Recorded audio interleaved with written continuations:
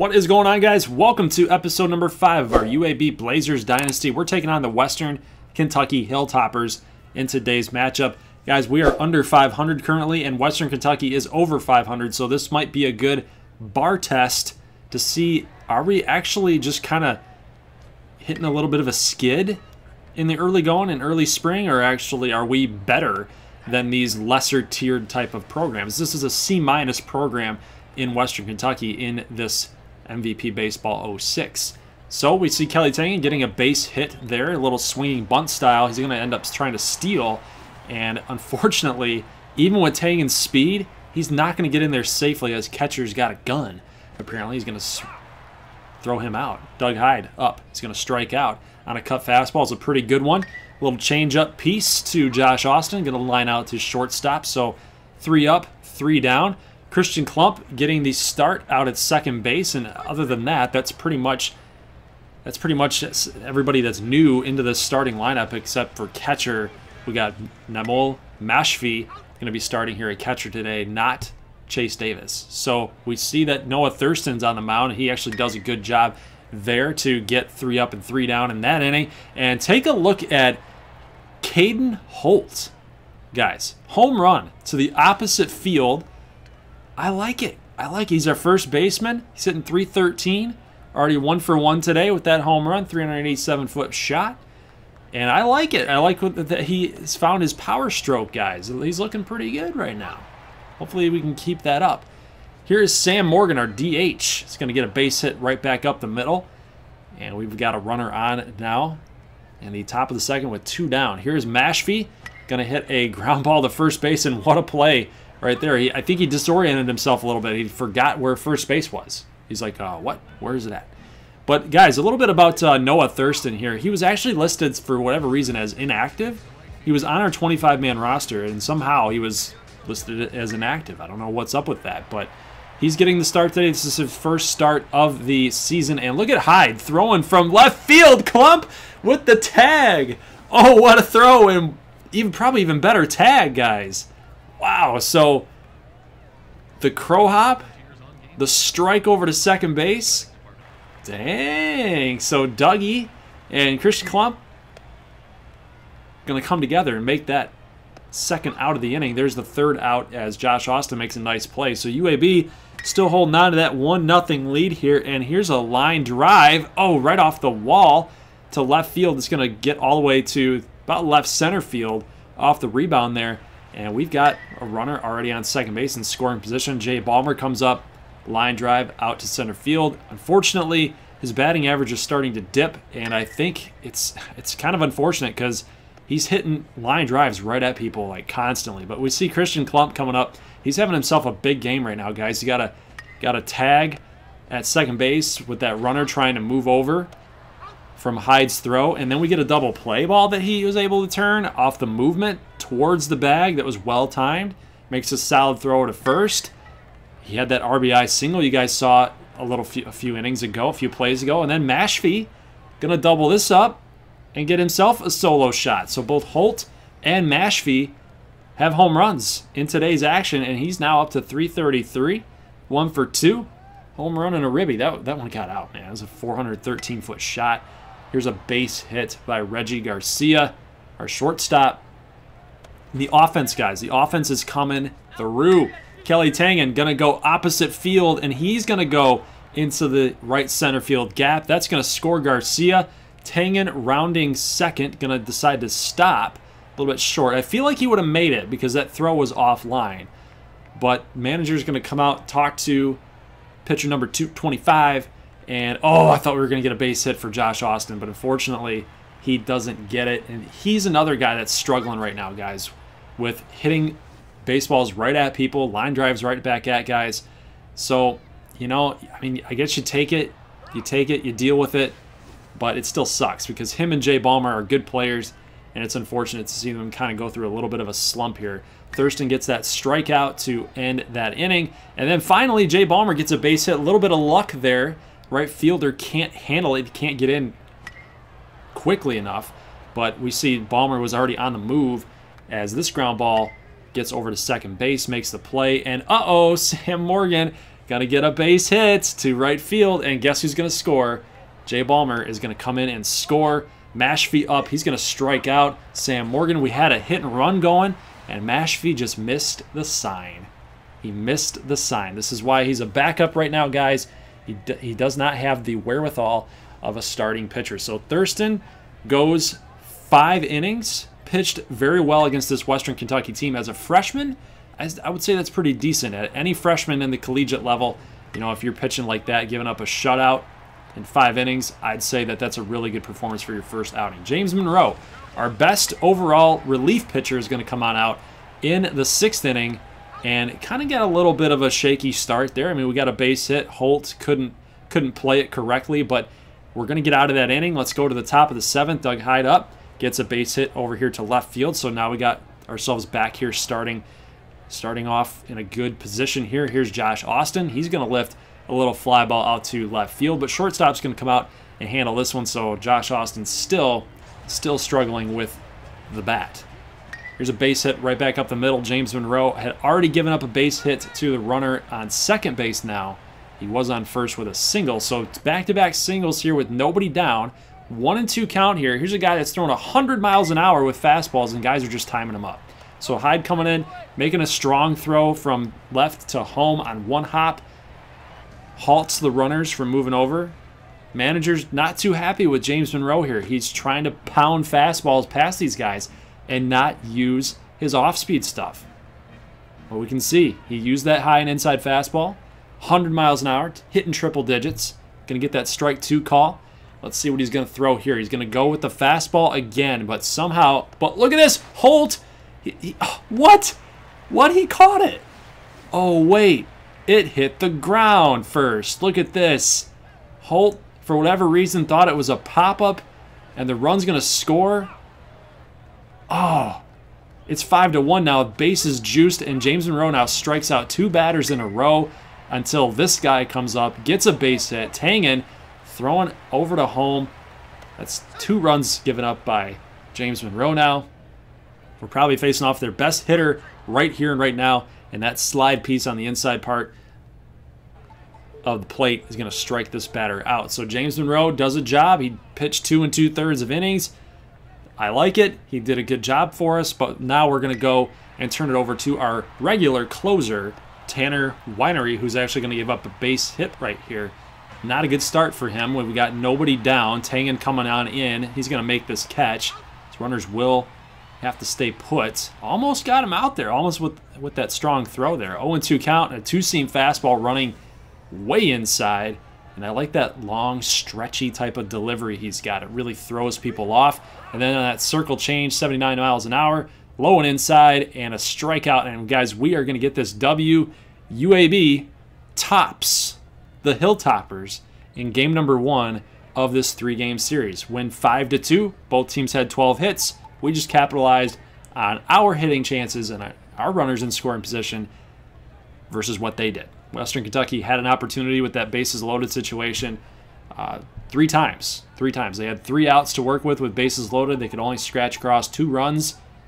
It is what it is. You know, it, this game could have totally turned in a different direction had James Monroe not locked it down. So James Monroe gave up seven hits in two and two thirds innings. But honestly, guys, I'm just happy that he kept his control. He kept his wits about him a little bit. I know he had that negative reaction when the coach came out, but you know, he buckled down, got the job done, and we got the W. It could have gotten really ugly really fast. We got the W in the second game of the series, 14 to 10. We're now going to move into gameplay with the third game of the series.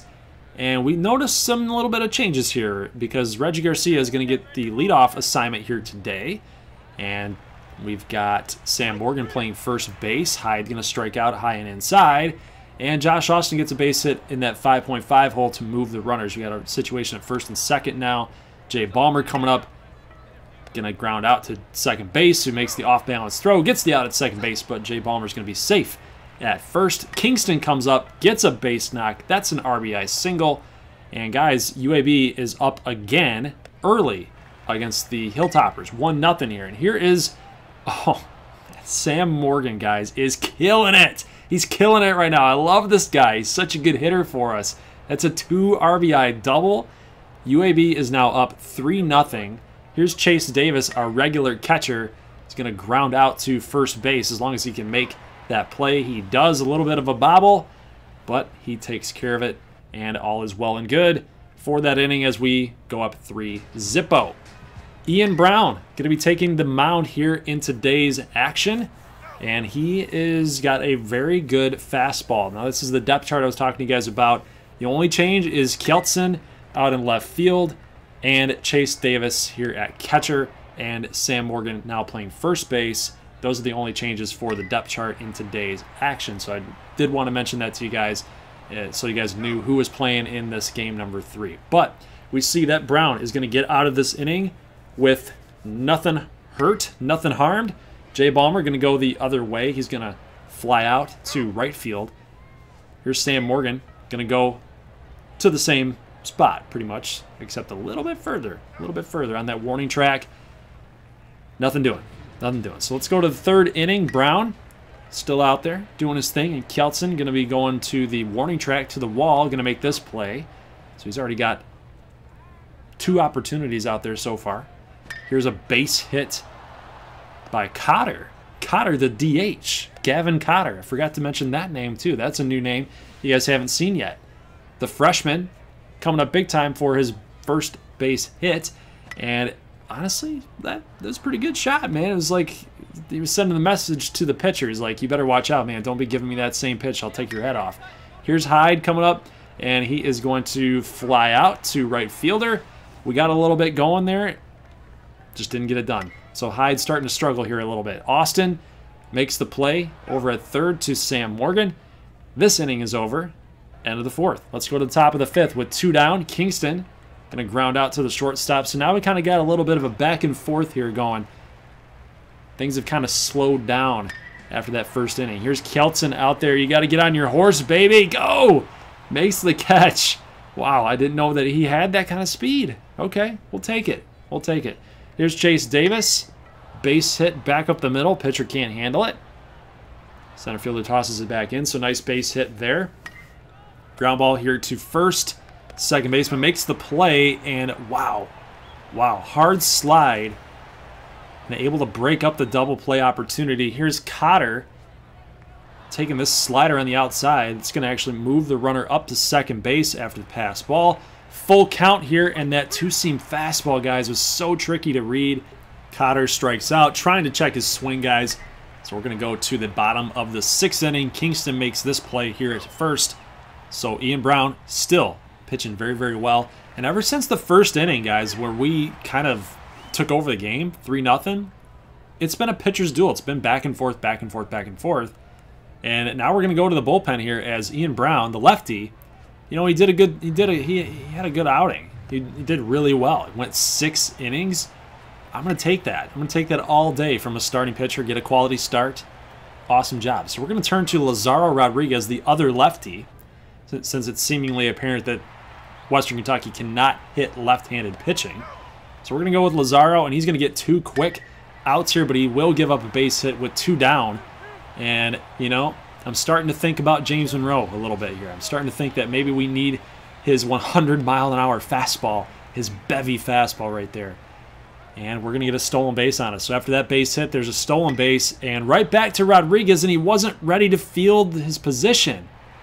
He's going to make a bad throw to Morgan, but he was going to be safe anyway, guys. Watch this one more time. Look at Wasn't even close. Wasn't even ready.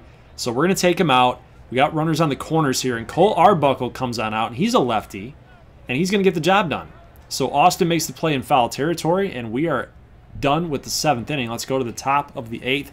Kingston going to hit a little ground ball right. Oh, he missed the tag. The umpire didn't call him out, so he gets into first safely. And guys, Sam Morgan continues to hit. We are testing the arm of the right fielder's got a gun apparently. Oh, I hate that graphic. I hate that graphic. Hate it, hate it, hate it, because guess what, guys? I thought he was closer to third base than he was. But here's the thing. You saw Brady Whiting coming up, getting this double, and we're trying for home. We're trying for home. He's going to slide in safely. That's Sam Morgan. And Whiting is getting the call here, guys, because Chase Davis got hurt. He got hurt somehow in this game. So he's going to be out for about three to four weeks. We get a double here, and we're trying to score, trying to push it, and we're going to get tossed out. We're going to be thrown out off a very good throw. Balmer testing his arm out to first base. Runner gets in safely. Arbuckle's still out here. 4 nothing game, and that 89 mile an hour fastball is just going to nip the low part of the plate here. And Garcia can't get to this base hit. Hyde coming in, gets it over to third, so it stops the runner from moving to over to third.